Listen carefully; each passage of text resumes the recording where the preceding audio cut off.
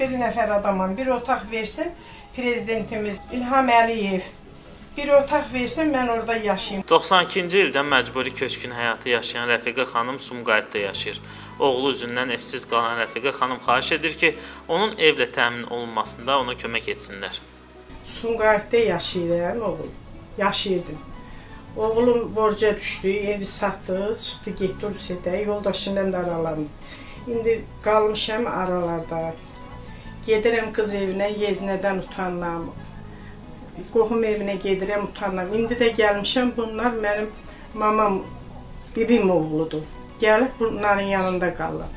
Gedirəm Sumqayıtın icra hakiminə, nə bilim, evlərə baxanlara, hər sənə şikayət eləyirəm. Deyirəm, deyir ki, sən get bir obşteldə yaşa, sağ ev versinlər.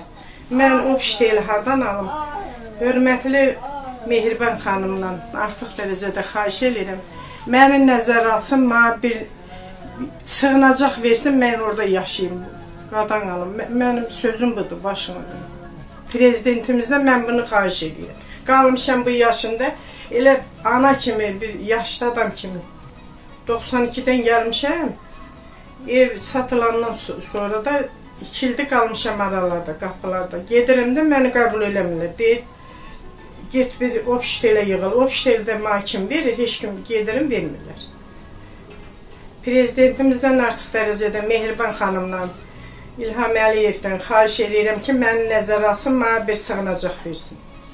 Mənim sözüm budur.